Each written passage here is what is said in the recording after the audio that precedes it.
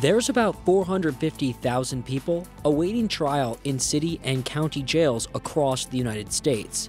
While arrested on suspicion of committing a crime, they are legally innocent, and studies estimate the majority of them are incarcerated simply because they cannot afford bail. What cash bail did was create a two tier system of justice one for the rich and one for everybody else. It's unconstitutional to jail people just because they don't have access to a sum of money. Many others have had to secure their release using bail bonds. Private industry does it better, bail agents do it better.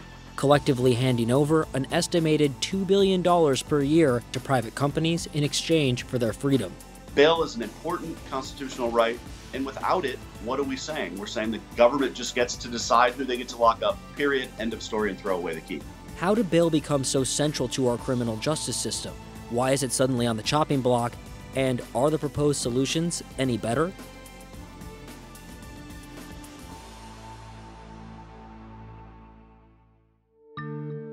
To understand how we got here, we need to start with the fact that 40% of people in the United States cannot afford a $400 emergency cost. That cash bail, whether it's $500 or $100, may as well be a million or five million for most people coming in and out of the system. Bail has a disparate impact on people of color, it has a disparate impact on people from low income communities, and on women and moms. The average bail is about $10,000 for a felony charge, while even cheaper bails for misdemeanors can routinely run $500 or $1,000. That makes paying bail impossible for many, leaving them to await trial in jail. Jail is primarily for others awaiting trial and those serving shorter sentences, while prison is usually for convicted criminals serving out longer terms. But even a small amount of time in jail can have serious consequences for someone who can't pay bail controlling for all other factors, sitting in jail pretrial is the single greatest predictor of a conviction. Basically, just being in jail before trial makes people more likely to plead guilty and serve longer sentences. There's often no clarity about what their options are. They may not have a lawyer come and see them. So people plead guilty because jail is a terrifying, violent, and dehumanizing place to be. There's no other way to describe it. So when you're in that circumstance and your family and your life and your job and your home are outside, if the only way to get back to safety is to plead guilty, you'll plead guilty whether you did it or not if you know you're going to have to sit in that jail cell for days or weeks or months or, yes, even years before your case actually comes to a close. And that wait time can be dangerous. As originally reported by the New York Times and confirmed to CNBC by his attorney, Tyrone Tomlin was beaten to the point of needing medical attention while he awaited trial at New York City's notorious Rikers Island jail. The reason for his arrest? Holding a straw he was about to drink a soda with. Police said it could be used for heroin, but test results came back negative on the straw. Even if charges like this are dropped, that time defendants spend stuck in jail can initiate a destructive chain of events in their lives. Outside of jail, your life is falling apart. You can lose your job, you can lose your kids, your immigration status may be jeopardized, you can lose your house and get evicted, you can be thrown out of school. So there's a whole collateral um, wave of damage that happens to you, to your family's life, and to your community. Bail bonds can offer a way out. A bail bond is a service you purchase for someone else to pay your bail if you can't afford it yourself. That person is called a bondsman or bond agent. So the way it'll work is a defendant will get arrested and then they will call a friend or family and say, "Get me out of here." It's often that family member who contacts the bond agent. Then the bond agent sets out a fee of about 10 to 15% of the total bail amount. So for a common $10,000 bail, the fee would be about $1,000 to $1,500. The family member can pay that up front or set up a payment plan. The bond agent then writes the payment terms into a contract, which the family member usually co-signs with the defendant. You want to have a strong co-signer because if the person's not doing what they're supposed to, the third party who's financially uh, liable along with the bail agent will lean on the defendant to make them do what they're supposed to. We use something that's called the circle of love. And that would be mom, dad, sister, brother, aunt, uncle, people that have a direct familial connection to the defendant the accused has a lot more to fear from mom and dad and grandma than he does the Department of Probation. That co signed contract almost always makes the defendant and the co-signer financially liable for the entire sum of the bail, and it often requires the posting of collateral like a house or a car. The contract also lays out the bond agent's terms for the defendant's release. They can require uh, in-person check-ins. They can require uh, ankle monitors to be put on so they can monitor the whereabouts of somebody. Really, what you're doing is you're transferring custody from the sheriff to the bail agent. So the defendant gets out of incarceration. Within 24 hours, they come in. We take a picture of them, and then they physically check in once per week until the final disposition of the case. And as long as the defendant sticks to the terms of their agreement, they await their trial with their freedom. When they obtain liberty, they truly obtain liberty. They go back to their jobs, they go back to their lives. If they skip bail, oh, you know, then it's on. You know, then we, of course, we're going to hunt them down any which way that we can. We hunt the warranted. I mean, that's what we do. While America sleeps, that's what the bail industry is doing. But critics say the industry places an undue financial burden on lower income defendants and their families. If you're rich and post bail, you'll get that money back after you show up to your trial. If you get a bail bond, you won't get back the 10 to 15% fee you paid a bond agent to post your bail. Critics also say the bail bond process leaves defendants open to alleged extortion from bond agents. Bond agents may arrest their clients for not meeting the terms of their contracts, require drug tests, enforce curfews, and even perform searches on clients' homes or vehicles. They can also often revoke bail and send clients back to jail. These powers can give bond agents leverage to extract additional payments from clients.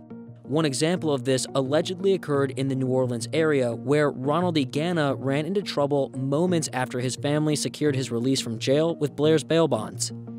Once Ronald got out, um, he was told for the first time that he had to also wear an ankle monitor that was not court ordered. It was a requirement of the bail bond company, and that that ankle monitor would cost $10 a day on top of the money that he owed on his premium. The Southern Poverty Law Center has since filed a lawsuit on Egana's behalf.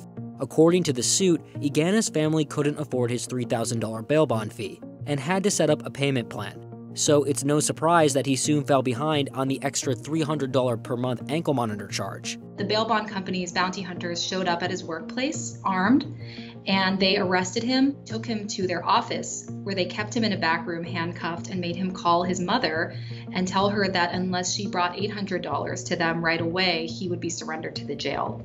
According to the suit, over several hours, she gathers the money and then goes to pick up her son. But then, she brought it down to the bail bond company. And once she did that, they said, actually, we need you to pay another $1,500. So she leaves and she goes through that whole process again. She gets $1,500. She pays it to the bail bond company, and only then do they release him. And apparently, this continued to happen. In one instance, the bounty hunters even allegedly intercepted Egana at the courthouse's metal detectors as he tried to report for trial, causing him to miss the court date. Blair's bail bonds did not immediately respond to request for comment, but industry members condemn this sort of conduct. We're against it. We think it's wrong. Uh, if it does happen, we encourage people to report it to the departments and have them investigate uh, and discipline people who do that. There are always going to be bad operators in every industry. But for the most part, that's just not the interaction between bail agent, family member, the accused. That's just not the way it works. The Southern Poverty Law Center says Egana's case helped crack open a much larger pattern of abuse in the New Orleans bail bond industry. They filed a complaint with the Louisiana state authorities in 2017, alleging the bail industry took over $5 million in illegal fees from about 50,000 low income people. In 2019, Louisiana state authorities ordered the bail companies to repay that money. However, due to a law change, it hasn't been paid back. When we think of commercial bail bond agencies, we think of the sort of mom and pop shop, small business owners who we see in a lot of communities. There are roughly 25,000, but they're backed by only nine major insurance companies. So at the top of this sort of economic food chain, there are major companies who write the rules, um, who make it so that those bonding agents take all of the risk of loss. But it's important to note big insurance companies don't underwrite all bond agents. I actually am the CEO of our own family insurance company. Although ours is not national, like some of the national insurers that you're referring to, they are indeed um, my brethren. So the fact of the matter is, yes, absolutely, they make money, but they also pay loss. Still, reports indicate the biggest bail bond insurers rarely take a loss, even when bail money is forfeited, with multiple industry executives on the record saying they have gone years without losing any money. Say my bond is $10,000.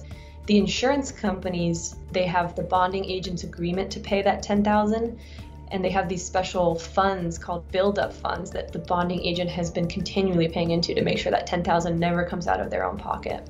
Another way insurance companies protect themselves from loss is the strict contracts bail agents use which tend to pass on the burden of paying a surrender bail to defendants and their cosigners. The insurance companies also provide form contracts that get used across the country, so their lawyers have worked up long contracts with all kinds of fine print, although we think those contracts are largely unenforceable.